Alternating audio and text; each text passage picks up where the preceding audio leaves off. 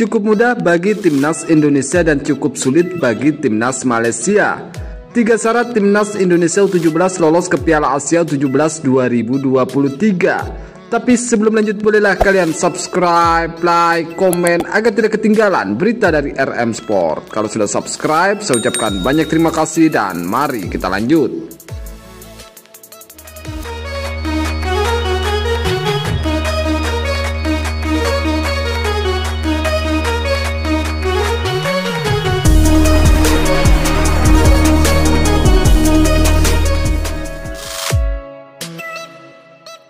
Timnas Indonesia U17 akan menghadapi Palestina di laga lanjutan Grup B kualifikasi Piala Asia U17 2023 yang berlangsung di Stadion Pakansari Jumat 7 Oktober 2022.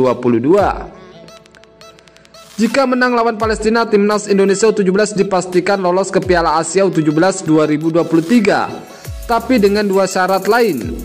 Syarat yang dimaksud adalah di laga lain Uni Emirat Arab menang atas Malaysia atau laga tersebut berakhir tanpa pemenang.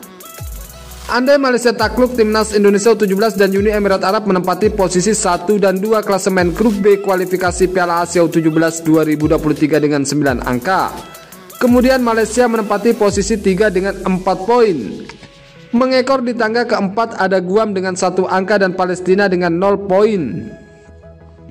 Sekarang yang jadi pertanyaan kok bisa timnas Indonesia U17 dipastikan lolos jika kondisi di atas terjadi?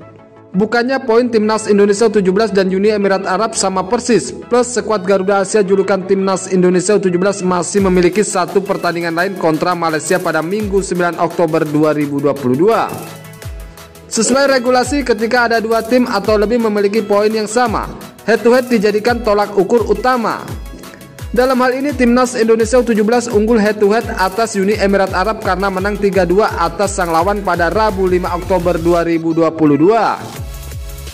Kelar laga melawan Malaysia, Uni Emirat Arab pun tak bisa lagi menambah pundi-pundi poin mereka sebab laga itu menjadi pertandingan terakhir Uni Emirat Arab di grup B kualifikasi Piala Asia U17 2023. Bagaimana dengan Malaysia?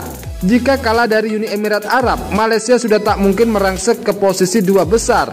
Jikapun menang atas timnas Indonesia di laga terakhir, poin maksimal Malaysia hanya 7 angka. Syarat lain untuk kelolosan timnas Indonesia U17 adalah jika laga Uni Emirat Arab dan Malaysia berakhir imbang. Dalam skenario ini koleksi 9 poin Indonesia tidak akan mungkin terkejar oleh raihan 7 poin oleh Uni Emirat Arab dan maksimal 8 poin untuk Malaysia. Karena itu timnas Indonesia U17 dipastikan lolos ke Piala Asia U17 2023 jika menang melawan Palestina plus di laga Uni Emirat Arab menang atas Malaysia. Menarik menanti jalannya dua laga di atas. Berikut tiga syarat timnas Indonesia U17 lolos ke Piala Asia U17 2023. Pertama, Uni Emirat Arab menang lawan Malaysia. Kedua, timnas Indonesia U17 menang lawan Palestina. Ketiga, Uni Emirat Arab dan Malaysia berakhir imbang.